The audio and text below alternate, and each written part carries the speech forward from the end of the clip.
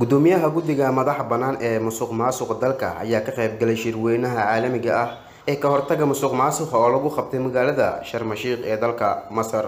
Shirkan oo ahaa shirkii sagaalaad ayaa soomaaliya ka qaybgal shirkan oo ahaa shirkii sagaalaad ayaa soomaaliya ka qaybgalkeeda waxa uu ahaa mid muhiim u ah arrimaha musuq maasuqa dalka oo xilligaani heerka musuq maasuqa oo xilligaani heerka musuq maasuqa loo maleynayo in uu hoos u dhacay sidii hore kadib markii xukuumaddii qeere ay u xortay mas'uuliyiin ka tirsan dowladda gudoomiyaha guddiga musuq maasuqa dalka maxamed xuseen xaamuud ayaa warbaahinta la hadlay kulanka kadib waxa uuna ka hadlay waxyaabihii ugu muhiimsanaa ee kulanka loogu hadlay.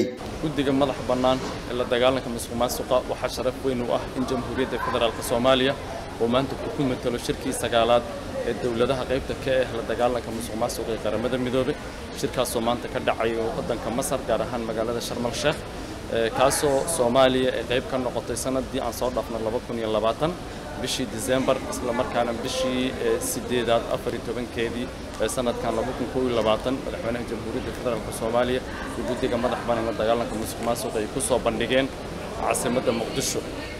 Waxaa aad iyo aad aan ugu faraxsanahay anigoo ah guddoomiyaha guddiga madax bannaan la dagaalanka musuq maasuqa kuna matalaya jamhuuriyadda federaalk soomaaliya shirkani in aan dib u soo celino calankii ay ku lahayd boqol iyo sagaashanka dal ee qaramada midoobe ee gaar ahaan ee ku midoobay la dagaalanka musuq maasuqa waa ilaahay mahaddiisu wuxuu inoo socon doonaa hal toddobaad. Toddobaad kadibna waa la soo gebagabayn doonaa. Soomaaliya kaalin aad u muhiimah ayay ka qaadatay. Waxaana ku faraxsannahay in calankii jamhuuriyadda dib loogu soo celiyo kulammada noocaan oo kale ah ee la dagaalanka musuq maasuqa waxaan u hambalyanayaa dhammaan ummadda soomaaliyeed meel walba ay joogaan.